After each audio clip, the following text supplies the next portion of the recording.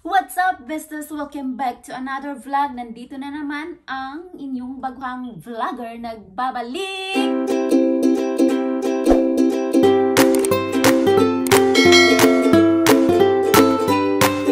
So, yan mga besties, ang gagawin natin ay magluluto tayo ng banana cake de leche flan. Yan yung patok nung kapanahunan pa ng COVID. So, ayan, gawin na din natin. Try natin siyang gawin kung makapasa pa, kung papasa pa, or kung hindi pa tayo babagsak. Ayan, ang ating abangan. So, ayan.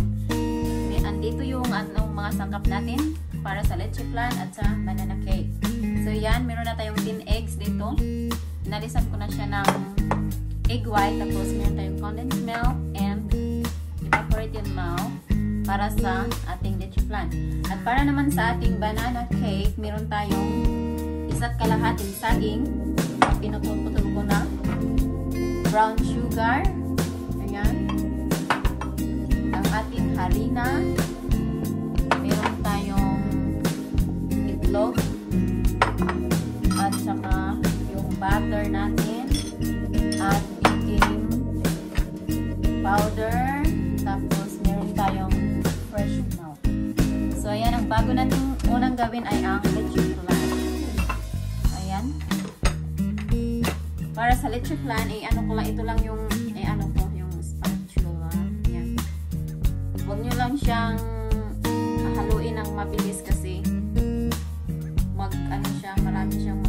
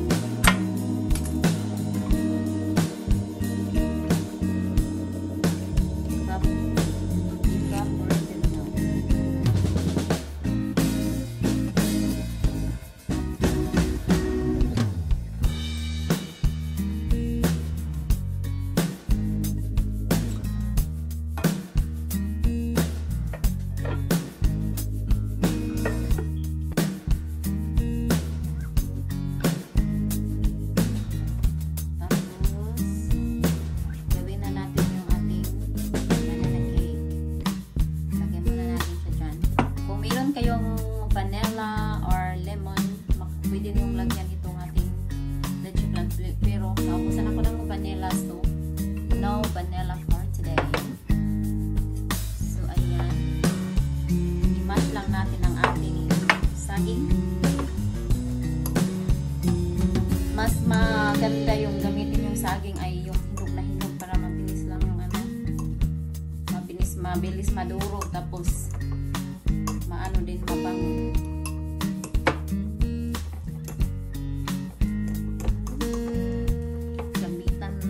natin siya ng ating energy ng ating malaking mga braso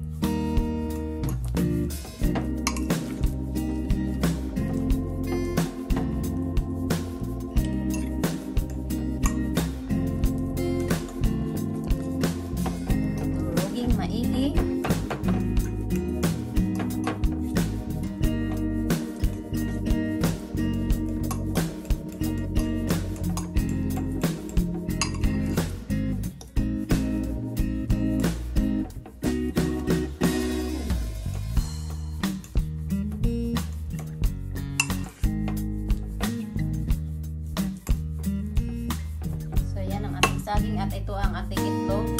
So yung itlog natin is isa lang. So meron tayong egg white na dun sa ano lang ulit simpla natin. I haluan lang natin siya ng konting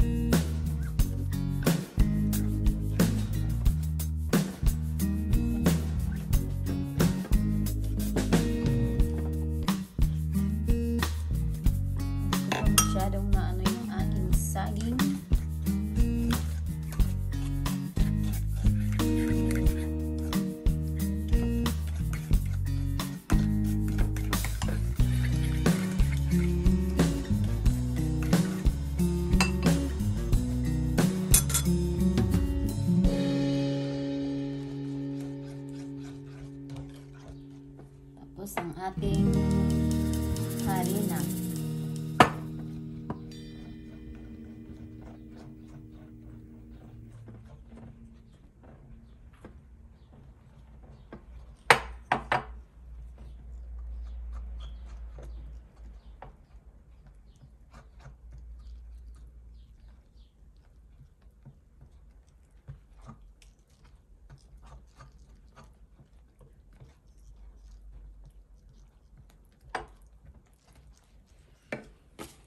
Tapos ang ating fresh milk.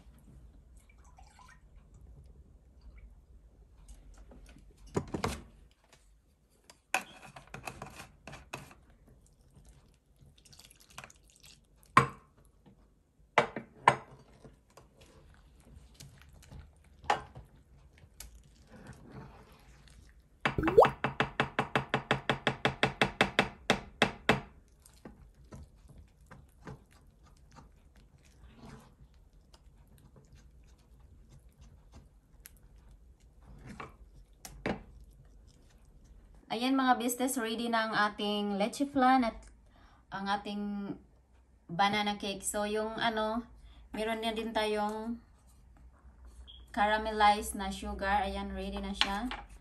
Yan. Tapos yung gagawin kong una is yung version ni Erwan Yusuf. So ayan, try natin kung marunong ba tayo sa version niya. So ayan, lagyan na natin siya ng ating leche flan. Oh. Yan.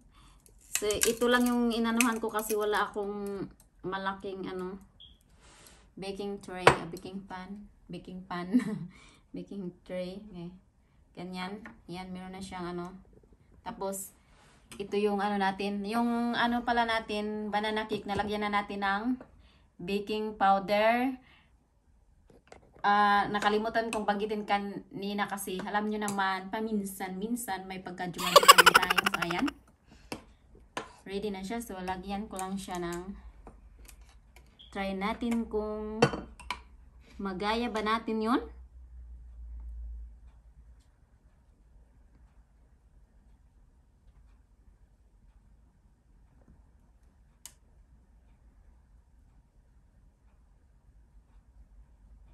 Kung anong kinahinatnan ng ating niluluto.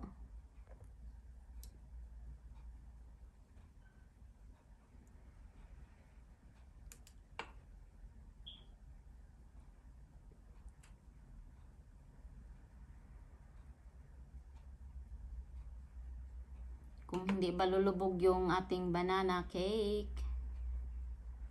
So, ayan. Tama na siguro yan.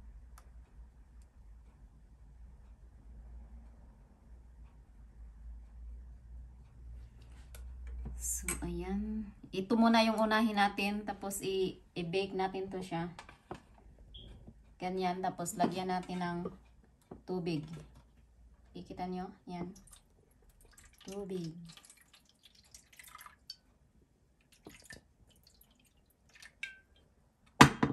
Ah. So, ayan. Ilagay ko muna siya sa, ano, sa ating oven. Naka-preheat na yung ating oven. So, ayan yung ating, ano, banana cake leche flan. Yan yung binate natin. Ayan. Kita nyo yan mga business? Abangan mamaya kung ito ba ay palpak o hindi. So, ayan, bestes. Ito naman ang ating pangalawang version ng ating banana cake leche flan. So, ayan, ready na ang ating, in-steam ko na siya. So, niluto ko na yung leche flan natin. Ayan. Tapos, lagyan natin siya ng ating banana cake. So, ayan. Tingnan natin kung ano ang resulta. Yung isa, nating gawa yung version ni Sir Erwan Yuza. So, ilang minutes na lang yun, ano, ready na siya. So, ito naman yung i, ano natin, lagay pag, ano natin ko, pag maluto na yun, ito naman yung ating ilagay ulit. Ayan.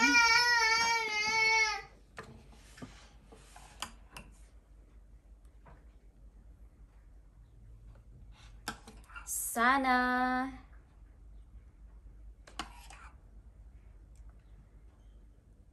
ano yung ano natin pagluluto.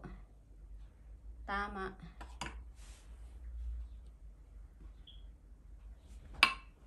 So, ayan mga bestes, ready na. So, i-bake ko na naman to siya ng 30 minutes.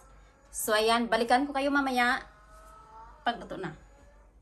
So, ayan mga business, luto na ang ating banana cake de leche flan. So, ito yung ah, Erwan Yusap. Ito yung kay Erwan na ano, yung ginaya ko. Tapos, ito yung sa akin, in-steam ko muna yung leche flan. Tapos, ito yung hilaw talaga yung leche flan at saka yung ano. So, una nating subukan ay itong ala Erwan. So, ito yon mga bestes. So, ayan. Let's have a test, test.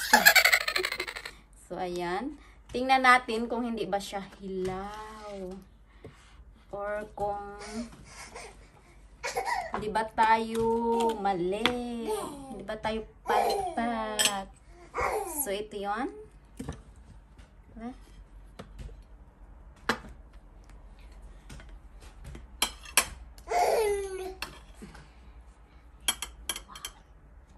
Oh. Nag-ano yung ano niya. Dumikit yung ano yan, no? Yung caramelized na ano niya. Dumikit sa ano. So, ayan. Tikman natin. Tingnan nyo.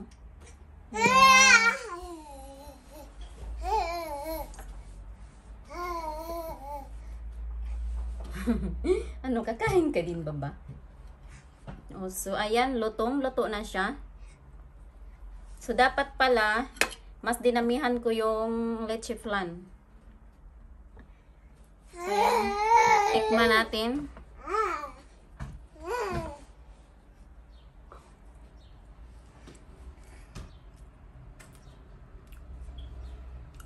And fairness, masarap.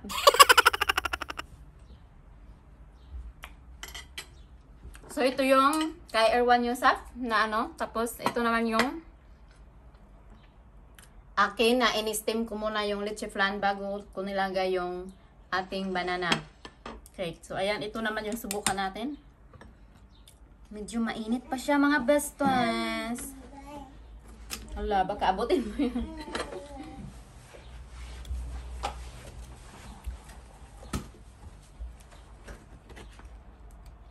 Ayan. Sana luto ito.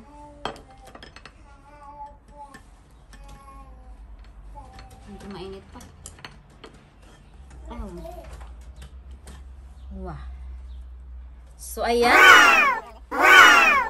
Walang dumikit na ano. Ayan. Susubukan natin ang Dance Life version. So, ito. Wow. So, mas maganda talaga kung ano pala siya mga bestes, yung dinamihan mo yung ano, yung leche flan paglagay. Yung nilagay ko kasi is konti lang.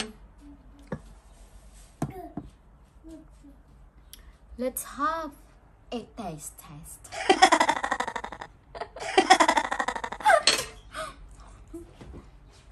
Ayan. Hmm. And fairness, mga besties, masarap ang luto ko. First time ko ito, ha? Hmm? Eh? Hmm. Hmm. Subay din na.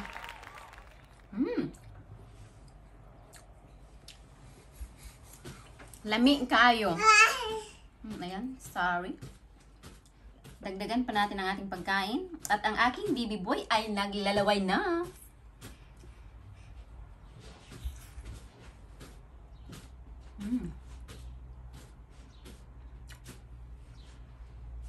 Hala, masarap talaga.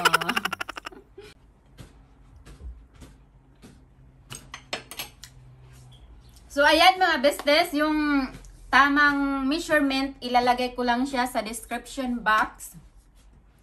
Tapos, yun na ang ating vlog for today. So, sana ay nagustuhan nyo at sana magaya nyo in fairness talaga mga bestes. Honest to God, masarap yung niluto ko. Doon lang ako nagkamali, medyo nagkamali sa ano yung salad chifla na pag ano ko na kunti lang yung nilagay ko. Ayan, kunti lang siya. So, mas mas kapalan nyo pa kung gagawa kayo para mas masarap. So, ayan lang mga besties ang ating vlog for today. Thank you for watching. Huwag niyong kalimutang mag-subscribe kung nagustuhan niyo ang aking vlog. Please, please, please, please like and share. Thank you. Bye-bye.